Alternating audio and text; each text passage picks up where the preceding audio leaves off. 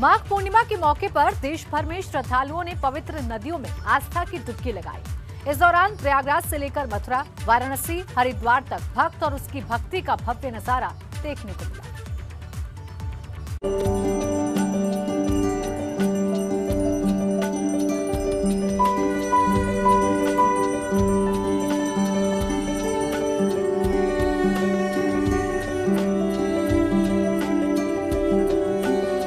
माघ पूर्णिमा के मौके पर गंगा, यमुना और दूसरी तमाम नदियों पर आज मानो श्रद्धालुओं का सैलाब उमड़ पड़ा। सुबह सुबह पवित्र नदियों में श्रद्धालुओं ने मानो आस्था की डुबकी लगाई। लेकिन इसी दौरान प्रयागराज और मथुरा जैसी कुछ जगहों पर आसमान में अचानक हेलीकॉप्टरों की उड़ान ने सबको चौंका दिया। जब तक श्रद्धालु समझ पाते, उन पर फूलों की वर्षा होने लगी। श्रद्धालुओं के लिए तो ये बिन मांगी मुराद पूरी होने जैसी थी। पूरा वातावरण मानो गुलाब और गेंदे की फूल की सुगंध से महक उठा। गंगा और यमुना के पवित्र लहरों पर फूलों की पंखुड़ियाँ अटखेलियाँ करने लगे। शासन प्रशासन की ओर से ऐसी शानदार व्यवस्था ने श्रद्धालुओं की खुशियों को जैसे पंख लगा दिए। ये प्रयागराज की तस्वीरें हैं।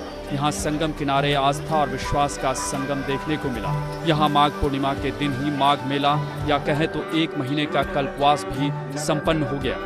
इस दौरान यहाँ आसमान से हेलीकॉप्टर के ज़रिए पुष्प वर्षा कराई गई। हम लोग सरकार से बहुत खुश हैं। ज़िंदगी में पहली बार ऐसा हो रहा है कि योगी राज में इलाहाबाद प्रयागराज संगम के तट पर इस प्रकार से भव्य आयोजन और फूलों की बारिश की जा रही है।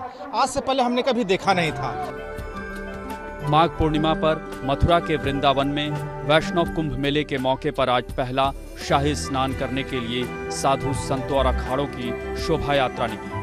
यहाँ भी यमुना किनारे श्रद्धालुओं की भारी भीड़ पवित्र नदी में डुबकी लगा रही थी तभी आसमान से हेलीकॉप्टर के ज़रिए फूल बरसाया गया।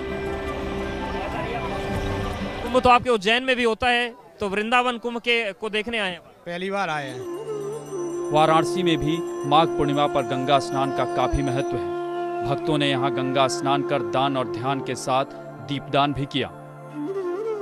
पूर्णिमा का दिन है गंगा नहाने से सब रोग दोष पाप दूर होता है और सब मनोकामना पूर्ण होती है। माघ पूर्णिमा पर हरिद्वार में हर की पौड़ी पर श्रद्धालुओं ने गंगा में डुबकी लगाई। वैसे भी यहाँ कुंभ के मौके पर इसकी अहमियत और बढ़ गई। राजस्थान राजसमंद। खास वजह आने की? बस कुंभ स्नान करने आए हैं। बस मज़ा मतलब भगवान का नाम लेने आए हैं यहाँ। धार्मिक मान्यता के मुताबिक माघ पूर्णिमा के दिन देवता भी स्नान करने प्रयागराज आते हैं। मान्यता है कि इस दिन संगम में स्नान करने से पापों का नाश और मोक्ष की प्राप्ति होती है। मान्यता ये भी है कि भगवान विष्णु माघ पूर्णिमा के मौके पर गंगा जल में निवास करते हैं। कहते हैं कि माघ पूर्णिमा के दिन नदी में स्नान कर दान करने से बत्तीस गुना फल मिलता है। बहरहाल, माघ पूर्णिमा पर देश भर में जगह जगह श्रद्धालुओं ने आस्था की डुबकी लगाई और माहौल ऐसा जैसे सभी भक्ति की भावना में बहे जा रहे हैं।